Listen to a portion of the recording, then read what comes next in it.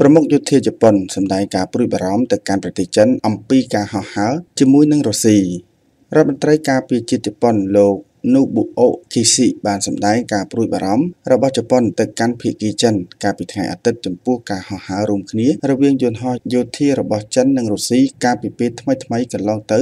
នៅក្បែរជប៉ុនដោយចាត់ទុកវាជាការបង្ហាញកម្លាំងប្រឆាំងនឹងប្រទេសរបស់លោក លោកគីស៊ីបានប្រាប់អ្នកយកព័ត៌មានក្រោយជំនួបជាមួយនឹងមន្ត្រីការពារជាតិចិនលោកវ៉ៃហ្វឹងនៅសង្ហបុរីថាលោកបានអំពាវនាវឲ្យចិនអត់ធ្មត់ក្នុងការធ្វើសកម្មភាពនៅសមុទ្រចិនខាងត្បូងព្រមទាំងសមុទ្រចិនខាងកើតនិងបង្ហាញការព្រួយបារម្ភចំពោះការប៉ុនប៉ងរបស់ចិនដើម្បីផ្លាស់ប្តូរស្ថានភាពបច្ចុប្បន្នតាមរយៈប្រើកម្លាំងក្នុងពេលជាមួយគ្នារដ្ឋមន្ត្រីទាំងពីរបានយល់ព្រមជំរុញការតាក់ទងនិងពិភាក្សារវាងអាជ្ញាធរយោធានៃប្រទេសទាំងពីរនេះបើតាមលោកគីស៊ីដែលបាននិយាយនៅពេលទំនាក់ទំនងជប៉ុនចិនជាបញ្ហានៃការព្រួយបារម្ភដែលយើងត្រូវការតាក់ទងដោយស្មោះត្រង់ លោកវិសិបានជួបប្រជុំជាមួយនឹងលោកវេនៅក្រៅជំនួបកម្ពុជាសន្តិសុខស្ដីពីសន្តិសុខអាស៊ីនៅសង្ហបុរី នៅថ្ងៃអាទិត្យដែលគេហៅថាសង្គ្រីឡា Dialogue វាជាជំនួបទល់មុខគ្នាលើកដំបូងរវាងប្រមុខយោធានៃប្រទេសក្បែរខាងទាំងពីរចាប់ពីខែធ្នូឆ្នាំ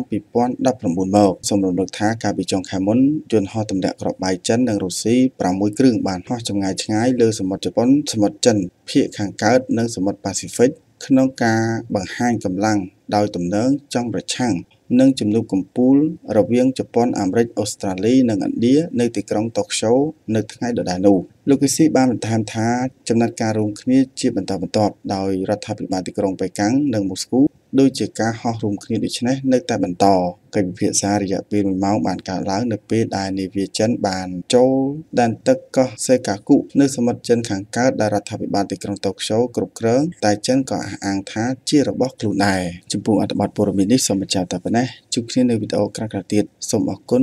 សូមគោរពលា